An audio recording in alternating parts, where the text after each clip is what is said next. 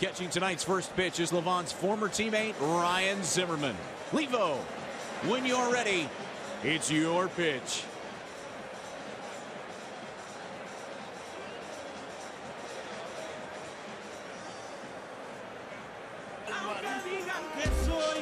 Ladies and gentlemen, Livan Hernandez.